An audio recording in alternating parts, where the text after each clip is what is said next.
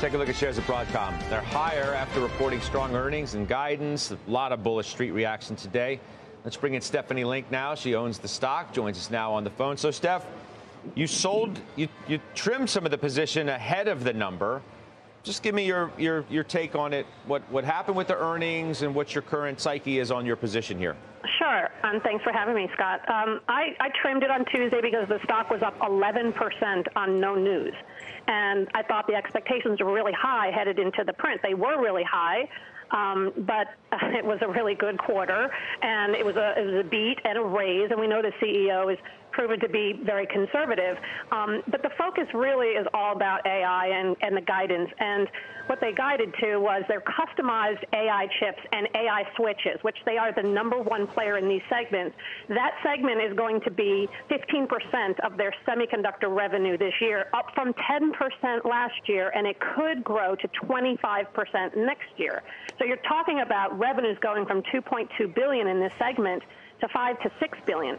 So it's really, I mean, it's, it's, I always knew it was a great AI story, but it's really a growing and, and gaining momentum. Meanwhile, the rest of the business is kind of chugging along, and uh, they bought back 2.6 billion in stock. They have 9 billion left. They're going to do 17.9 billion in free cash flow this year. So you get the buyback, you get the dividend, and you have an AI story. And I think you wrap it all up, and it's trading now at 19 times.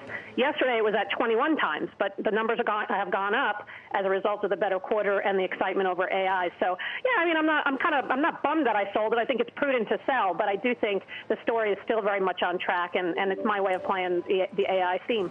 You think there's too much froth in AI? I mean, going into numbers, there are several, you know, folks who have suggested, yeah, there's too much froth, and these companies come out and they, for the most part, live up to the hype. Yeah, no, it's it's real. It's I mean these are uh, these are extraordinary numbers. I mean to go from 10% of your AI business of revenue to 25 in 2 years time, that's really a really a big statement. And I and again, I can't emphasize enough the CEO is proven to be very conservative. So I think, yeah, I mean, AI is the real deal. Obviously, we've all been talking about it. Are these stocks extended, all of them?